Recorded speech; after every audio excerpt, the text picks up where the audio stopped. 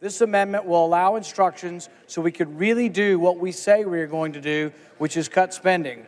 I think in light of the fact that we are for tax cuts, we ought to also be for reducing spending so we don't explode the debt.